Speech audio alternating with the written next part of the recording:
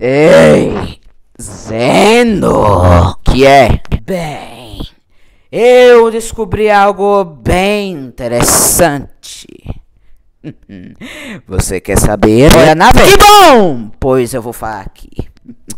Porra, não. O que eu descobri, meu caro, é bem simples.